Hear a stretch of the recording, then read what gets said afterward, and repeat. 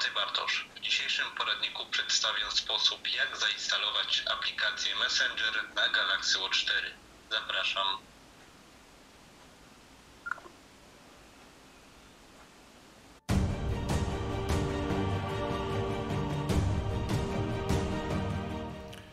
Natywnej aplikacji Messenger nadal nie ma w sklepie Play, a minęło już około 8 miesięcy od premiery Galaxy Watch 4 z nowym systemem Wear OS, który dzięki współpracy Samsunga z Google to właśnie Samsung dostał na rok czasu ten oto system na wyłączność do swoich zegarków.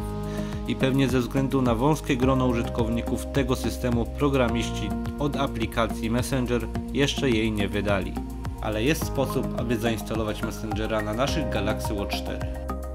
A zyskujemy to, czego brakowało, czyli możliwość dostępu do wszystkich naszych rozmów, przesłanych zdjęć czy filmów. Można również wysłać wiadomość głosową, bądź zadzwonić lub odebrać połączenie przychodzące w postaci wideoczatu. Taki przykład pokazałem na początku materiału, a teraz zła wiadomość. Niestety nie ma możliwości wysłania wiadomości tekstowej z poziomu aplikacji. Ok, to była krótka prezentacja aplikacji, więc obejrzyj ten materiał do końca, jeżeli też chcesz ją mieć na swoim zegarku. A ja już teraz zachęcam Cię do stawienia łapki w górę, no i również subskrypcji, aby być w temacie Galaxy Watch 4 i innych produktów od Samsunga.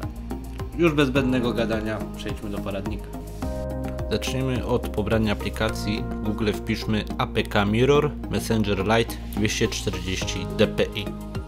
Teraz najważniejsze, aby wybrać wersję, która ma w opisie 240 dpi oraz ARM V7A. Mimo, że wyskoczy, że plik może być szkodliwy, pobieramy.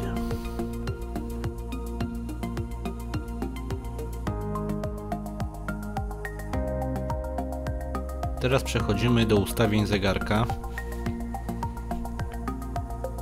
Zakładka o zegarku, następnie oprogramowanie. 5 razy wduszamy wersję oprogramowania, aż wyskoczy włączono tryb programisty. Cofamy dwa razy opcję programisty. Załączamy opcję debuguj przez Wi-Fi. I za chwilę pojawi nam się IP zegarka, które będziemy musieli przepisać.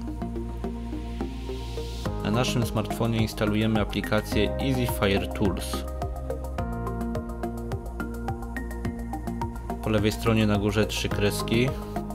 Wybieramy zakładkę Settings. Zakładkę IP adres przepisujemy to IP zegarka. Teraz na górze po prawej stronie są takie dwie wtyczki. Wduszamy. Na naszym zegarku pojawi się komunikat, żeby zezwolić. Wybieramy OK. W aplikacji w telefonie również. Następnie zakładka Qsdom APK File i wyszukujemy plik instalacyjny aplikacji Messenger, który wcześniej pobraliśmy. Duszamy na dole install. U mnie to trwało około 3 minut. Ja to teraz w przyspieszonym tempie pokazuję. I na koniec powinno się pojawić, że operacja się udała. Teraz przechodzimy do ustawień powiadomień zegarka i sprawdzamy, czy są włączone powiadomienia od Messenger Lite, a zwykły Messenger wyłączony. Aplikacja pojawiła się na naszym zegarku. Teraz wystarczy się zalogować na nasze konto w aplikacji Messenger.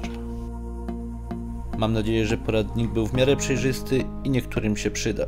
Jeżeli chcecie docenić moją pracę, pamiętajcie proszę o tej łapce w górę. Was to nic nie kosztuje, a mi daje motywację. No i zachęcam do subskrypcji, abyście mogli być na bieżąco z moimi materiałami. No to do usłyszenia następnym razem, mówił Bartosz. Cześć.